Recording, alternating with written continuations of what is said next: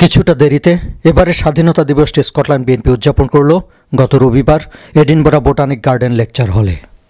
অনুষ্ঠানের শুরুতেই বিপুল উৎসাহের মধ্য দিয়ে উনত্রিশ সদস্য বিশিষ্ট নতুন কার্যকরী কমিটির নাম ঘোষণা করেন সংগঠনের প্রধান উপদেষ্টা, বিশিষ্ট কমিউনিটি ব্যক্তিত্ব আব্দুল মুক্তাদির চৌধুরী।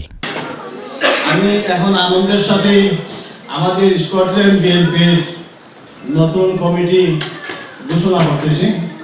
যুক্তরাজ্য বিএনপির আহ্বায়ক এম এ মালেক এবং যুগ্ম আহ্বায়ক ব্যারিস্টার আব্দুল সালাম লন্ডন থেকে টেলিফোনের মাধ্যমে সবাইকে শুভেচ্ছা জানান।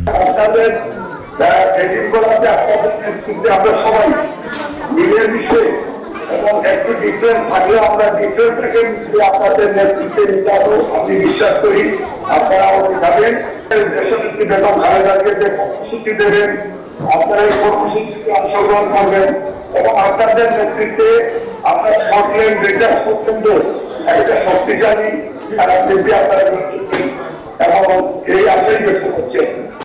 নবনির্বাচিত সভাপতি আব্দুল মোহিত খান বাদশার সভাপতিত্বে একটি আলোচনা সভা অনুষ্ঠিত হয়। বিএনপির নেতৃবৃন্দ ছাড়াও আগত কমিউনিটির বিশিষ্ট জনেরা স্বাধীনতা দিবসের উপর তাৎপর্যপূর্ণ বক্তব্য রাখেন।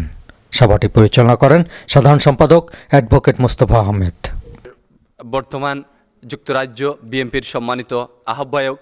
তিনি টেলিফোনে কথা বলেছেন, আমাদের কমিটিকে অভিনন্দন জানিয়েছেন এবং ব্যারিস্টার এম এ সালাম সম্মানিত যুগ্ম আহ্বায়ক, যুক্তরাজ্য বিএনপি, তিনিও আমাদের সাথে ফোনে দর্শকদের উদ্দেশ্যে স্পিচ দিয়েছেন। আমরা এখন থেকে আশা করবি, তারাও বলেছেন যে স্কটল্যান্ডে আমাদের যে বর্তমান কমিটি, সেই কমিটি স্থায়ী থাকবে এবং বাকি যারা আছেন, প্রত্যেকেই আমাদের সাথে মিলেমিশে কাজ করার জন্য আমরা তাদেরকে উদার্ত আহ্বান জানাই।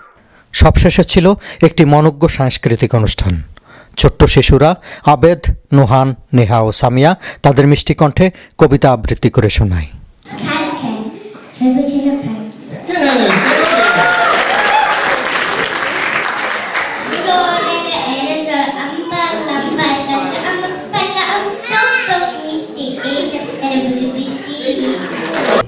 এরপর সংগীত পরিবেশন করেন লন্ডন থেকে আগত শিল্পী রিয়া এবং অমিত।